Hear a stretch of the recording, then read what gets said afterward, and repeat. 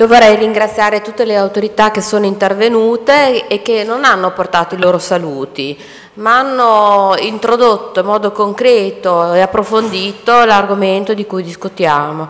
E, um, oggi esamineremo insieme. Questo è un segno molto forte del taglio di, de, che si vuole dare non soltanto a questa giornata di lavoro, ma anche che è stato dato a tutti i convegni sullo stalking che abbiamo visto in questa sede, nella sede precedente dell'Università degli Studi di Modena. Sono, non sono neppure passati due anni dall'entrata in vigore del nuovo delitto di stalking e, ehm, diciamo che eh, in questi due anni si è visto come questa legge abbia dato delle concrete mh, opportunità e tutele alle donne e comunque in generale, più in generale alle vittime di stalking. Si è visto anche come in realtà no, il, non, sia, non sia sufficiente normare una fattispecie che prima non era neppure considerata come reato, ma è necessario andare avanti ed approfondire la tematica perché in realtà quello che è stato eh, studiato mh, eh, sia dal punto di vista quantitativo che dal punto di vista qualitativo è ancora poco rispetto alla realtà del fenomeno. Eh, io sto prendendo dati, leggendo dati che provengono dal Ministero della Giustizia, dal Ministero delle Pari Opportunità e Osservatorio Nazionale dello Stalking. Allora, nel 2010 in Italia, eh, al, novembre, eh, al, nove, al, mese di novembre, eh, è morta una donna ogni tre giorni per, eh, a seguito di omicidio.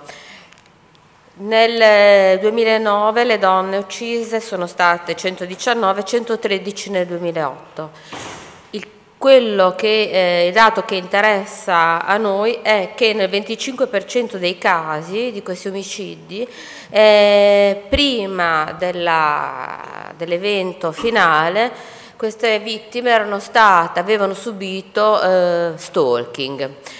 Quindi capite com'è importante eh, capire, comprendere, avere degli strumenti per comprendere, far compre consentire agli operatori coinvolti nelle fattispecie di stalking quando è che la donna è eh, a rischio di subire un'escalation di questo fenomeno che porti a reati più gravi quali appunto l'omicidio, il tentato omicidio e eh, la violenza sessuale. Direi che a queste tre categorie eh, si è rivolta soprattutto la ricerca.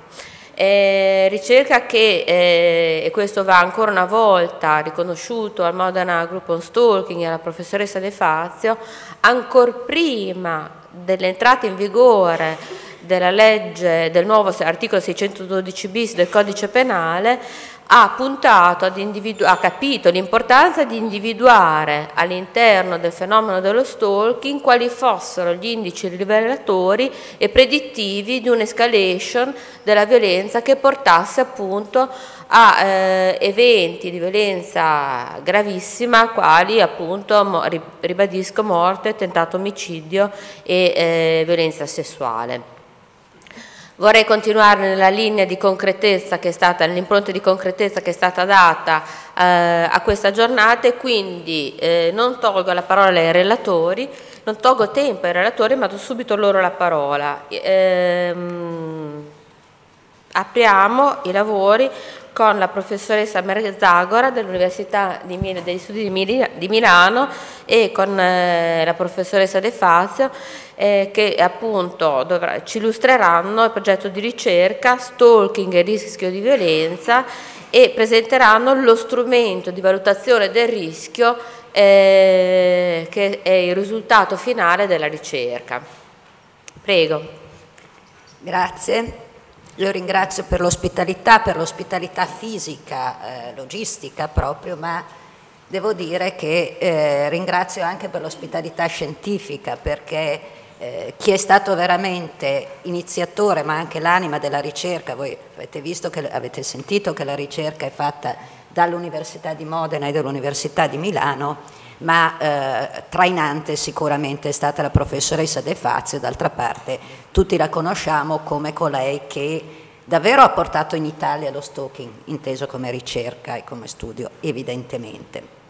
Quindi sarà lei a eh, illustrare il, il report finale di questa ricerca e io invece comincerò raccontandovi un paio di storie. Sono un paio di storie che eh, forse fanno, fanno capire il perché di questa ricerca e il perché di un'attenzione particolare che va al di là del mero fastidio, magari anche grosso fastidio delle molestie assillanti. Da dove vengono queste storie? Sono un paio, perché non credo proprio di avere tempo di raccontarne di più, eh, storie vere, mm, sono i racconti che mi hanno fatto i tanti partner violenti, mh, mm, più delle volte partner uxoricidi, che ho incontrato in carcere.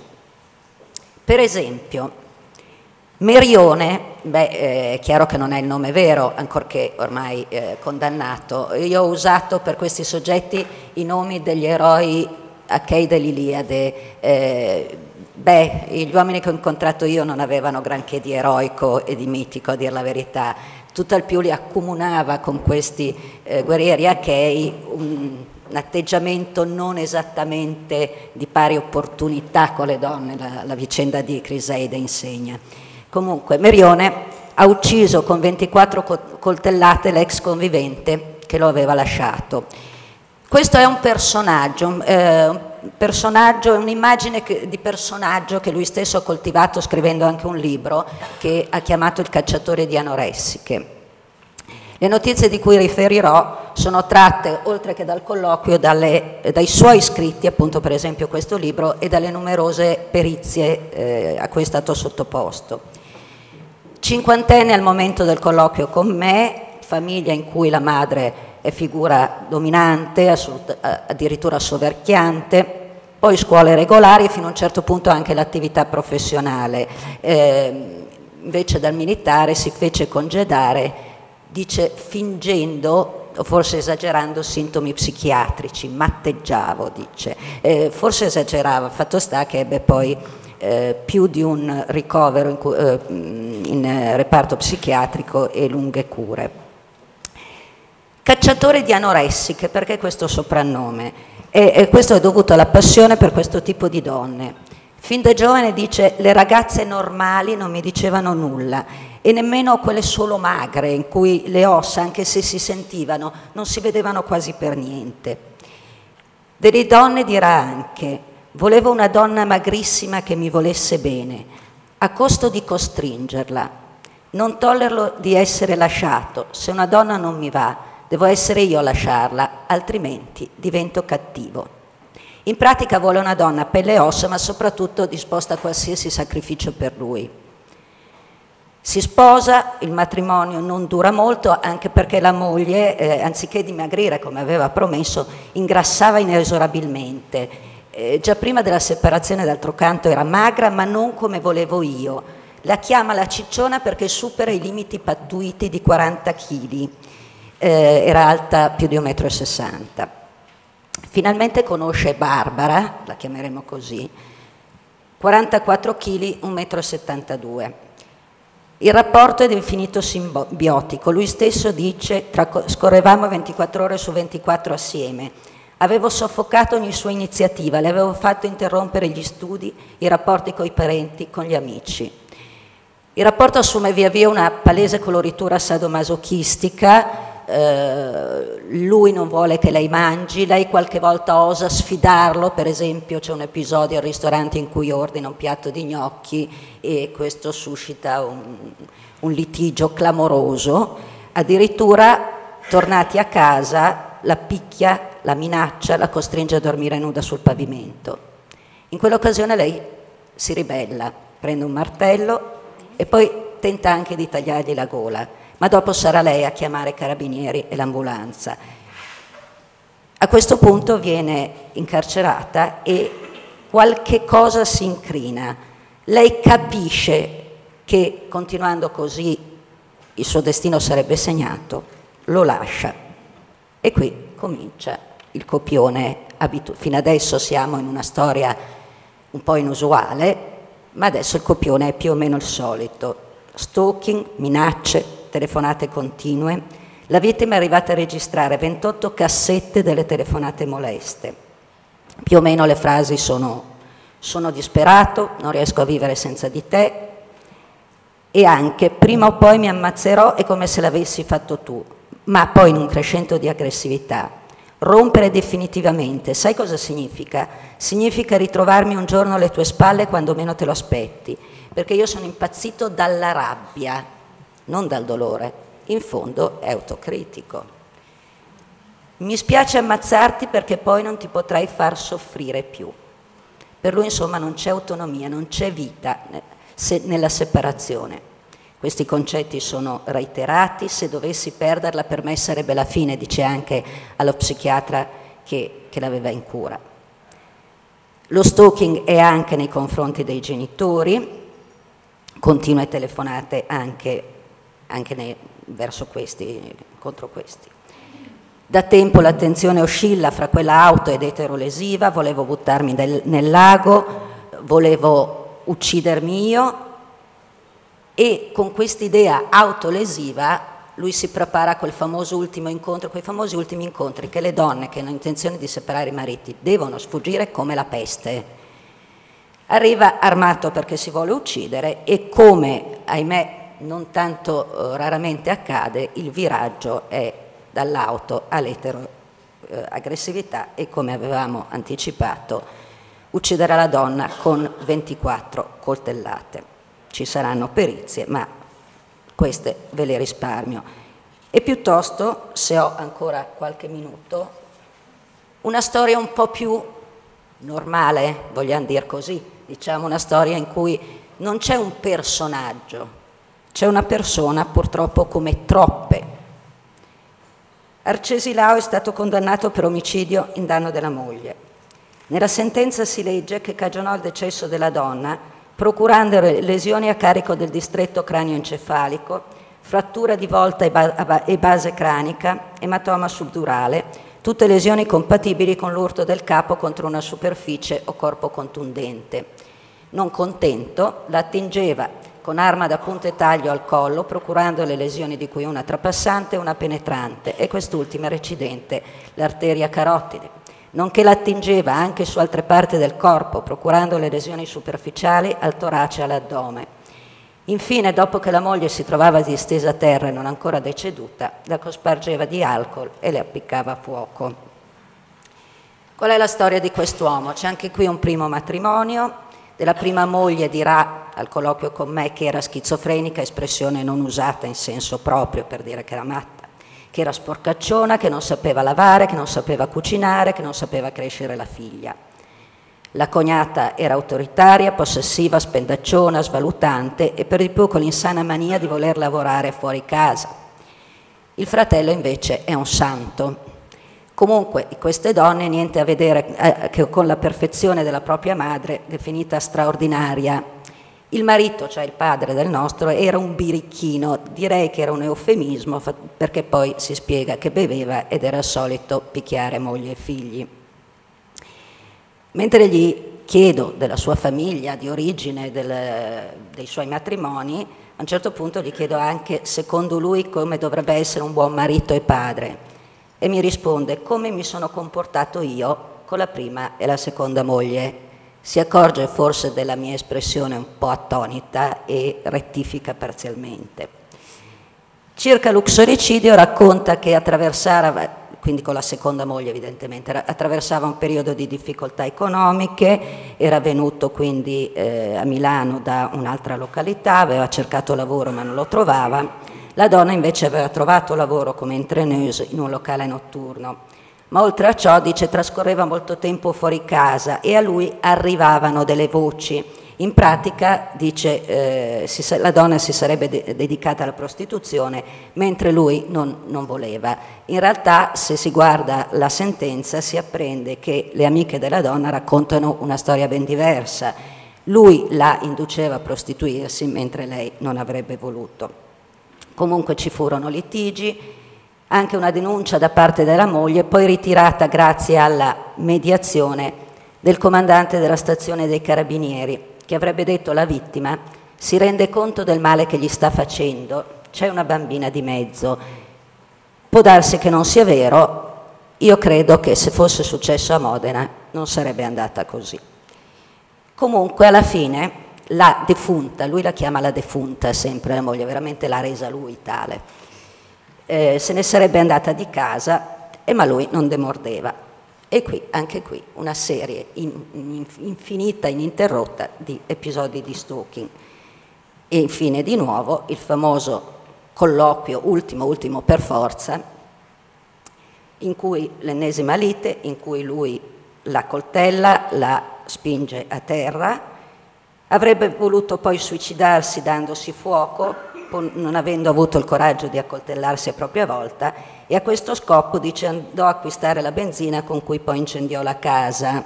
Questo è quello che dice lui, il pubblico ministero diede però un'interpretazione un po' più maliziosa e ritenne che si volesse in questo modo eh, occultare il, le tracce del delitto. È finita anche questa storia, forse non è ancora finita. In carcere ha già una fidanzata. Costei è una donna stupenda, e da lei vorrebbe anche un figlio, perché il suo sogno è quello di avere una famiglia, un'altra. Due storie, una un po' più eccezionale, una un po' più normale, normale per i criminologi, quindi normale nella patologia della famiglia, ma che forse spiegano il perché abbiamo provato a vederci un po' più chiaro e a cercare di capire che cosa distingue uno stalking eh, fonte di sofferenza, di disagio senz'altro, ma da qualche cosa che è prodromico di guai anche peggiori. Grazie.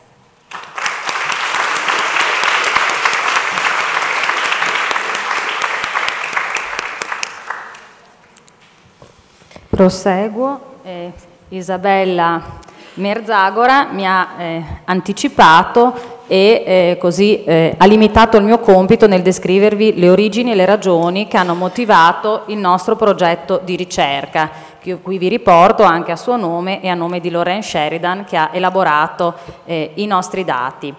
Effettivamente chi mi ha preceduto nei saluti e poi Isabella hanno sottolineato come eh, in Italia l'interesse per il fenomeno dello stalking sia abbastanza recente, come sia eh, recente anche l'introduzione di eh, una norma eh, sullo stalking e eh, l'interesse per i casi più seri di stalking, quelli che sono terminati con violenza grave o omicidio. Non è un caso poi che nel nostro Paese eh, i media, quando si sono occupati di stalking, anziché sottolineare in prevalenza, come è avvenuto in altri paesi, eh, i casi di stalking a danno di personaggi in vista, di personaggi pubblici, abbiano piuttosto sottolineato e messo in luce storie di stalking conclusisi tragicamente ai danni di eh, persone eh, della, comuni e soprattutto di ex partner.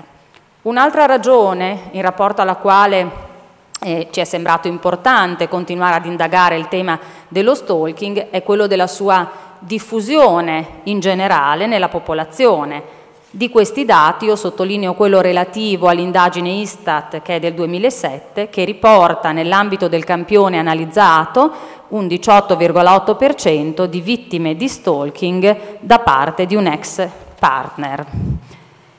Venendo poi al tema eh, che eh, riguarda questo progetto di ricerca, ossia stalking e rischio di violenza, Certamente per noi ricercatori si tratta di un campo di indagine particolarmente interessante.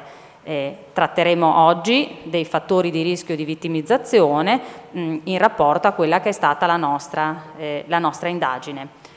La letteratura esistente eh, ha parecchi contributi sul tema, eh, riporta però percentuali eh, abbastanza eh, mh, differenti le une dalle altre nei vari contributi che spesso fanno riferimento solo a violenza fisica intesa in senso abbastanza generico. Non sono tanti i contributi che hanno preso in considerazione il rapporto fra stalking e violenza grave. Tra questi il primo in assoluto credo sia stato quello dei colleghi David James e Frank Farnham in Inghilterra. Certo, eh, una delle mh, ulteriori ragioni che hanno motivato il nostro interesse per questo tema è stata anche la considerazione che violenza e paura della vittima sono elementi strettamente connessi, intrinseci al fenomeno dello stalking. Quindi eh, ci siamo eh, così dedicati ad analizzare questo tema, cercando anche di addivenire alla creazione di uno strumento pratico che possa dare qualche indicazione a chi si trova a dover fronteggiare situazioni di stalking. Ancora, sempre per eh, eh, fare qualche riferimento ai eh, dati, mi limito all'ultimo punto, la stessa indagine Istat che vi ho citato prima riporta un 48,8% di violenza fisica o sessuale ad opera di un ex partner. Sono dati che poi vanno visti nel contesto del eh, campione ovviamente di riferimento, che riguardava uno studio sulle violenze in famiglia. A questo punto eh, passo direttamente, dopo avervi fornito solo qualche elemento indicativo eh, relativo alle motivazioni che ci hanno spinto a analizzare questo tema, passo alla eh, ricerca. La nostra ricerca come si è svolta, che ipotesi ha voluto verificare e quali obiettivi aveva. L'ipotesi. Abbiamo cercato di verificare le correlazioni esistenti tra stalking e violenza grave, facendo riferimento, intendendo per violenza grave, poi vedremo che la metodologia della ricerca ci ha in una qualche misura anche imposto questa eh, scelta, eh, abbiamo fatto riferimento a casi di omicidio, tentato omicidio e violenza sessuale.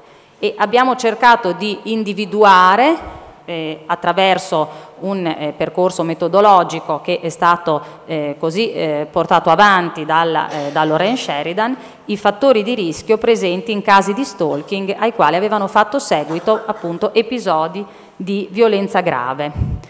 Che cosa abbiamo cercato di ottenere eh, nell'ambito di questo progetto? Abbiamo elaborato una checklist, un elenco di fattori di rischio connessi a situazioni di stalking.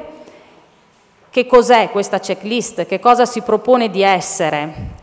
Si propone di eh, essere uno strumento molto pratico, molto concreto per identificare quei casi di stalking che eh, necessitano di maggiore attenzione o che dovrebbero necessitare di una particolare attenzione in un'ottica di valutazione del rischio, facilitando la raccolta di informazioni, vedremo lo strumento che caratteristiche ha, mh, mm, presenta semplicemente delle domande che eh, sono state strutturate sulla base dell'esito dell'analisi dei dati che abbiamo raccolto e cerca di effettuare una valutazione eh, che, che eh, così, ehm, questa presenti parecchi limiti che poi vi metterò in luce del rischio eh, di violenza per la vittima.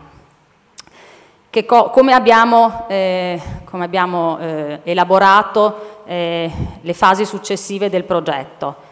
Quali sono i casi sui quali ci siamo basati, a quali, ehm, a quali fonti ci siamo rivolti. Intanto nella nostra metodologia abbiamo fatto riferimento a quelli che sono stati i lavori precedenti condotti da alcuni colleghi.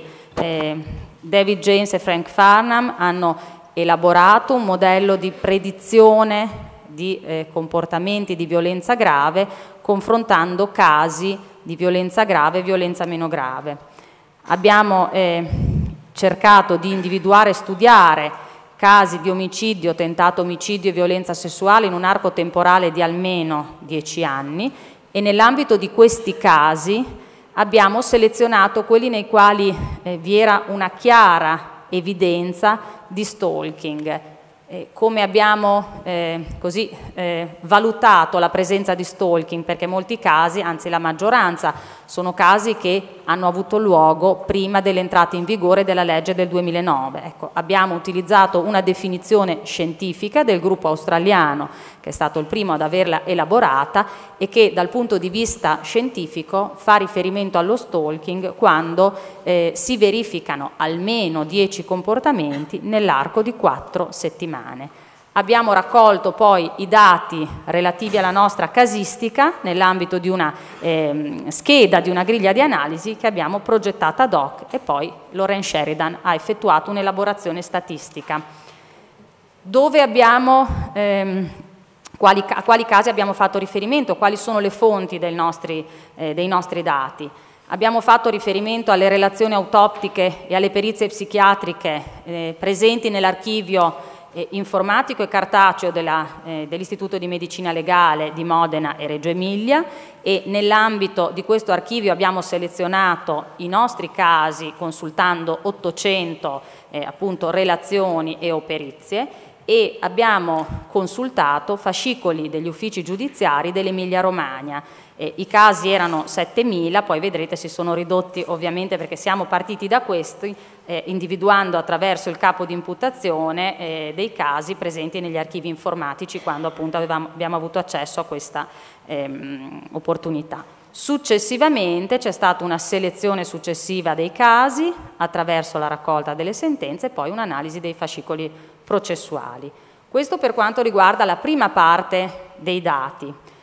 Questi casi di violenza grave sono poi stati confrontati, la metodologia statistica lo richiedeva, con altri casi di stalking invece degli, ehm, eh, che sono stati eh, desunti da, eh, le, dalle denunce presentate eh, presso una sezione di polizia giudiziaria della Lombardia. Quindi i casi di, eh, diciamo così, di stalking che non avevano ehm, così, eh, avuto eh, esiti di violenza sono stati confrontati con quelli modenesi e dell'Emilia Romagna attraverso questo tipo di raccolta di dati che è stata effettuata dall'Università di eh, Milano. Su quanti casi ci siamo basati? Ecco, il lavoro grosso è stato quello di selezionare i casi che presentavano le caratteristiche idonee per essere sottoposti all'analisi statistica. Eh, sono stati 59 casi di eventi violenti seguiti allo stalking, omicidio, tentato omicidio e violenza sessuale, eh, perpetrati tra l'81 e il 2009. L'obiettivo era quello di valutare quali erano le variabili che meglio possono predire le violenze gravi poste in essere dallo stalker e il risultato che adesso io vi presenterò è quello della individuazione di 10 variabili in grado di predire in modo statisticamente significativo la condotta aggressiva dello stalker. Ecco, I limiti del nostro lavoro ve li presenterò in conclusione. Lo strumento della checklist, che cosa, ehm, che cosa abbiamo, eh, abbiamo fatto? Queste sono dieci domande che costituiscono quelle variabili che sono emerse eh, come variabili significative nel predire le condotte violente degli stalker e che eh, rappresentano che cosa? Appunto, messe insieme uno strumento che può essere utile a guidare il processo decisionale e a supportare la raccolta di elementi utili per tutti coloro che sono chiamati a lavorare eh, su, questi, eh, su, questi, casi. Eh, ci sono quindi alcune variabili che sono associate in maniera significativa alla violenza grave posta in essere dallo, eh, dallo, stalker che sono emerse da questa casistica che noi abbiamo esaminato e che è stata confrontata partendo dai casi di violenza grave poi con la casistica eh, della eh, Lombardia. Le domande, le dieci domande quali sono? Lo stalker è di nazionalità straniera, questa è una delle variabili che è stata segnalata anche da diversi studi stranieri che riportano percentuali elevate di stalker di nazionalità straniera. Non ci sono ancora studi che hanno indagato la questione nel dettaglio. Certamente i riferimenti che per ora troviamo nella letteratura e che eh, ci suggeriscono di riflettere ulteriormente su questo tema sono quelli che riguardano eh, così, un riferimento a un discorso di tipo culturale oppure a quelle che sono le caratteristiche di isolamento e di disagio sociale che talvolta eh, così, eh, si trovano nell'ambito di questi eh, soggetti. Secondo, la seconda variabile significativa che è emersa dalla nostra analisi, quindi la seconda domanda che di fronte a un caso di stalking un operatore potrebbe porsi e sulla quale eh, riflettere, è lo stalker è un soggetto disoccupato o che presenta una situazione lavorativa precaria. Questo tipo di eh, variabile, questo tipo di domanda per ricercatori che si occupano di stalking è abbastanza interessante, un po' perché non ritorna in tutti gli studi e un po' perché contrasta con quello che eh, spesso è emerso nell'ambito di campioni di eh, stalker che eh, rivelano sovente uno status sociale più elevato rispetto ad altri autori di reato. Nel caso di stalker a rischio di violenza grave, per quanto riguarda l'analisi che noi abbiamo effettuata, sembra eh, rappresentare una variabile significativa la eh, mancanza di occupazione o uno stato di disoccupazione. Cos'è che poi è interessante sottolineare? Beh, intanto eh, non è detta che una condizione di disoccupazione o di disagio sotto il profilo lavorativo non eh, fosse preceduta da una situazione differente, quindi possono essere intervenuti dei cambiamenti. Anzi, talvolta questo tipo di cambiamenti eh, vengono, eh, diciamo così, eh, per questo tipo di cambiamenti lo stalker colpevolizza la vittima, le attribuisce delle responsabilità in rapporto a quello che è un eventuale intervenuto declino di tipo economico e sociale e quindi motiva le molestie proprio in questo modo. Un'altra variabile che spesso è presente nei casi di eh, violenza eh, grave che fanno seguito allo stalking e che è risultata significativa anche nella nostra analisi. Quindi la eh, terza domanda, lo stalker ha danneggiato la proprietà della vittima? Ecco, tra le eh, molestie che gli stalker portano avanti eh, sono, eh, vi sono sovente quelle che riguardano danni che possono essere apportati so, all'autovettura, alla casa della vittima, a oggetti o cose di proprietà eh, della vittima. Questi possono essere eh, così motivati da eh, quelle che sono le ragioni che ehm, lo stalker talvolta adduce, cioè il desiderio di danneggiare spesso un oggetto o qualcosa che a cui la vittima è affezionata, eh, minacce talvolta semplicemente dirette al, eh, così, eh, a, a, alla distruzione, eh, indicanti la distruzione di, appunto, di qualcosa o di eh, una proprietà a cui la vittima tiene. Eh, in genere, in molti casi, il verificarsi di danni materiali o è contestuale o precede anche le aggressioni fisiche. Questo è eh, uno degli aspetti che vengono appunto presi in considerazione quando si tratta di eh, valutare il rischio di violenza grave. E ancora, quali altri aspetti sono, eh, sono emersi? Lo stalker molesta la vittima regolarmente, cioè è frequente l'attività di molestie, è molto, eh, diciamo così, è molto ravvicina ravvicinata, la maggior parte eh, degli stalker che mettono in atto violenze gravi hanno molestato eh, in modo molto intenso la loro vittima, anche 20 volte al giorno, con comportamenti che sono eh, così quelli dei tentativi di comunicazione, spesso pedinamenti, minacce o appostamenti vicino alla casa della vittima o al posto di lavoro. Questi sono i comportamenti eh, comunque tipici dello stalking.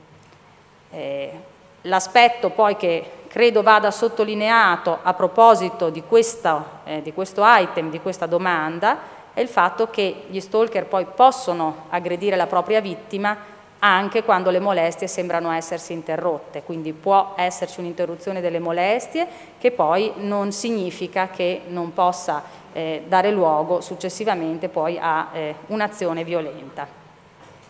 La quinta domanda, che ricorre anche in altri studi, che ricorre frequentemente insieme ad altre, in altri studi di valutazione del rischio, lo stalker fa uso di sostanze alcoliche o stupefacenti. Questa è una variabile eh, che risulta significativa per quanto riguarda il rischio di violenza grave.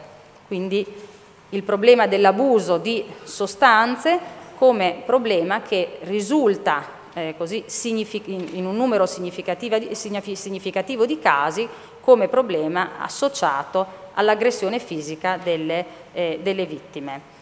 Eh, ci sono eh, una serie di altri studi eh, su questo tema che eh, segnalano eh, la presenza di questa variabile come variabile significativa. Ancora, lo stalker ha molestato la vittima in luoghi pubblici, quindi di fronte ad altre persone oppure sul luogo, eh, sul luogo di lavoro. gli stalker che si aggirano nelle vicinanze dei luoghi che solitamente una vittima presenta, tendono ad essere coloro che più frequentemente hanno probabilità di aggredire le proprie vittime. E la maggior parte poi degli stalker è solitamente convinto che il suo comportamento rappresenti una risposta eh, appropriata. Altra cosa che riguarda il primo punto di questo slide eh, spesso sono le vittime, quasi sempre, sono le vittime in prima persona che eh, sono in grado di rendersi conto che l'ex partner o, una, o un altro soggetto le segue, le molesta regolarmente. Un altro tema rilevante, che è oggetto di una domanda della checklist, che eh, riguarda una variabile poi risultata eh, significativa, è quello che concerne la motivazione. Eh, gli studiosi eh, che si sono occupati eh, nell'ambito di ricerche internazionali dello stalking hanno eh, elaborato delle tipologie mh, classificatorie che fanno riferimento a quelle che sono le motivazioni che più frequentemente sottendono comportamenti di stalking. Ecco, tra queste alcune delle, alcune delle tipologie classificatorie fanno riferimento a rabbia o vendetta, quindi questa variabile, lo stalker è motivato da rabbia o vendetta, ecco questa domanda fa riferimento a quella che è una motivazione che risulta significativa rispetto alla eh, predizione del comportamento, eh, del futuro comportamento violento e in rapporto allo stalking. I motivi più comuni poi di, eh, così, eh, che sottendono ehm, lo stalking, che sottende lo stalking sono spesso la rottura o il rifiuto di una relazione, eh, spesso lo stalker cerca di ristabilire una relazione che la vittima ha interrotto o non vuole riprendere eh, attraverso eh, comportamenti che rinviano al desiderio di vendicarsi, eh, spesso eh, ci sono rancori da parte dello stalker che ritiene che la vittima meriti le sue molestie. Ecco, eh, stalker che eh, diciamo, sono motivati da rabbia o da vendetta rispetto ad altre tipologie di motivazioni sono stalker che risultano essere più pericolosi rispetto al rischio di violenza. Altro punto che poi credo nel nostro paese non solo eh, meriti qualche riflessione in più, altra variabile, altra domanda, lo stalker possiede un'arma, questa è un'altra variabile che risulta essere significativamente correlata al rischio di violenza grave. Quindi gli stalker che hanno accesso ad armi da fuoco da taglio risultano avere maggiori probabilità di eh, uccidere o ferire gravemente le loro vittime e quindi è chiaro che ciò impone, quando ci si trova di fronte a situazioni di stalking che vengono segnalate, eh, la possibilità di verificare che eh, un soggetto possieda diverso titolo o abbia accesso ad armi da fuoco da taglio e altro elemento particolarmente significativo è la presenza di minacce specifiche che menzionino le armi. Spesso risultano presenti in casi di stalking e di stalking grave minacce e minacce specifiche eh, che eh, fanno riferimento a un futuro comportamento di violenza grave che potrebbe essere messo in atto con il ricorso ad armi da fuoco o da taglio. Penultima domanda. Lo stalker è noto per essere stato violento nei confronti di altre persone durante la campagna di stalking. Ecco, tra le caratteristiche dello stalking c'è quella di eh, essere un comportamento che eh, fa riferimento a una vittima primaria, ma che prevede anche il coinvolgimento di vittime secondarie, ossia di tutti quei soggetti che a diverso titolo possano ostacolare l'attività del molestatore. Quindi eh, un, uno stalker può aggredire o molestare prima vittime secondarie per ottenere informazioni su quella che è la vittima primaria oggetto del suo interesse, per disturbare quest'ultima, per rimuovere ostacoli che gli impediscono di avvicinarsi alla vittima primaria o anche semplicemente in un'ottica vendicativa e punitiva nei confronti di coloro che aiutano o proteggono la vittima o che hanno eh, così un rapporto particolare di vicinanza con la vittima.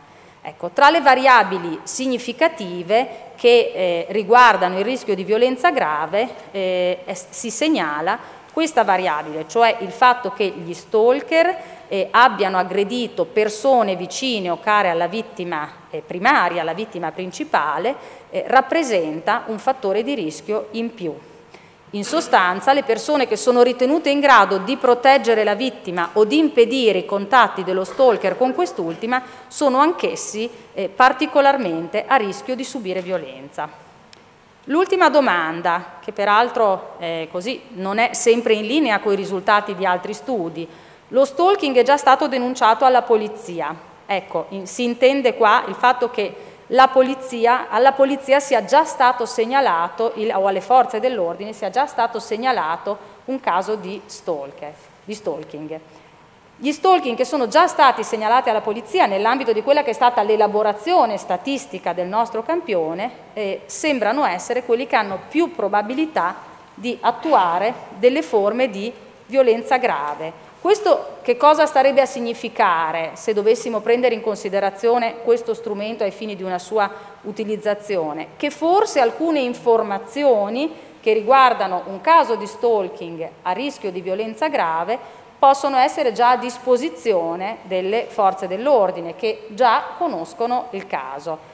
Talvolta è proprio lo stalker stesso in prima persona che col suo comportamento fornisce direttamente degli elementi che possono essere eh, presi in considerazione. E a volte, tra l'altro, va segnalato il fatto che gli stalker più violenti sono quelli che concentrano molte delle loro forze eh, sulle azioni di stalking sono quelli rispetto ai quali gli interventi dell'ordinamento eh, sortiscono eh, risultati eh, meno significativi, proprio per le caratteristiche di questi soggetti.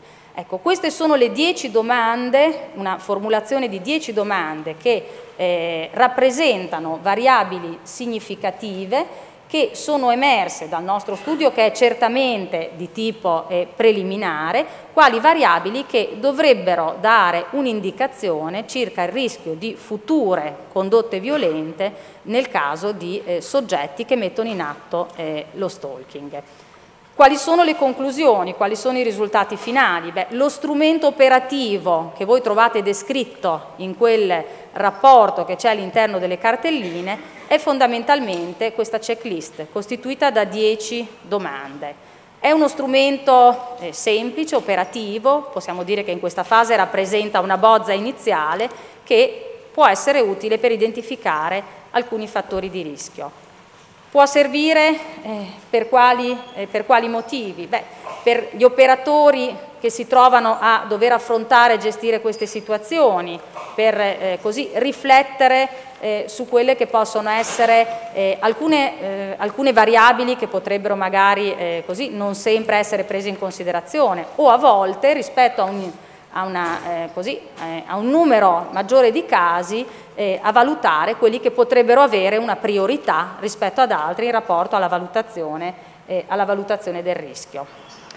Quali sono i limiti che poi sono connessi a questo strumento e che dobbiamo tenere in considerazione in questa fase? Certamente non è uno strumento che si propone di prevedere in modo certo l'omicidio della vittima da parte dello stalker. Gli stalker stessi non sanno spesso cosa faranno dopo, quali saranno le azioni e le molestie che metteranno in atto eh, successivamente. Fornisce semplicemente delle informazioni su quei fattori che sono più spesso associati a stalker pericolosi. Talvolta eh, avere qualche punto di riferimento, come possono essere, quale quello che può essere costituito da queste domande, può incoraggiare ad ottenere anche rispetto a vittime che si rivolgono a un operatore delle informazioni eh, utili a inquadrare meglio il caso. Dal punto di vista delle prospettive future e dei limiti eh, del, nostro, eh, così, eh, del, nostro, lavoro, cos'è che va sottolineato per concludere? Beh, certamente noi presentiamo oggi uno strumento eh, così preliminare eh, il cui funzionamento e la cui efficacia andranno eventualmente testate, occorrerà eh, effettuare una raccolta e un'analisi dei risultati, procedere ad eventuali adattamenti e correzioni eh, qualora eh, così, questo strumento si dovesse rivelare eh, utile nella gestione dei casi eh, di, eh, di stalking. Mi fermo qui e vi ringrazio per l'attenzione.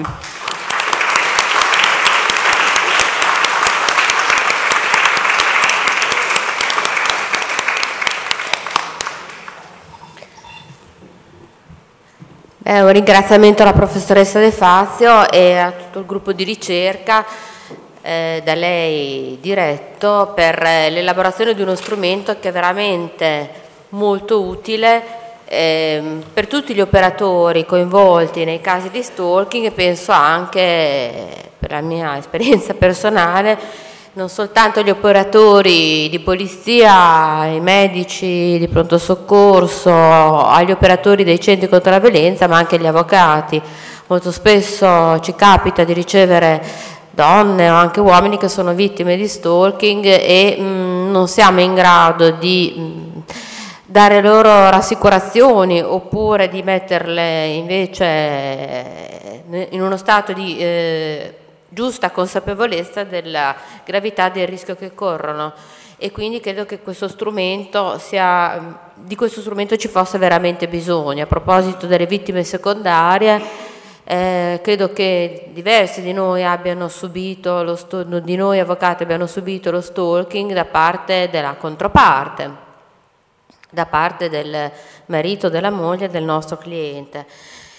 E vorrei ricordare qui il caso dell'avvocato Giovanna Fava che è stata coinvolta eh, nella, nella sparatoria che è avvenuta al Tribunale di Reggio Emilia un paio d'anni fa eh, lei difendeva la moglie di uno stalker che eh, aveva già subito ordini di protezione, quindi allontanamento dalla casa familiare, ehm, divieto di avvicinarsi alla stessa, divieto di avvicinarsi ai luoghi frequentati dai figli, questo stalker ha colto l'occasione dell'udienza presidenziale nella quale si doveva decidere sull'affidamento dei figli, è andato all'udienza armato e eh, la prima persona alla quale ha puntato la pistola non è stata la moglie, ma è stata l'avvocato Giovanna Fava eh, che per fortuna si è salvata perché ha avuto la prontezza di abbassare la spalla e quindi è stata semplicemente trapassata nella spalla una rottura del timpano per una scheggia di vetro e quando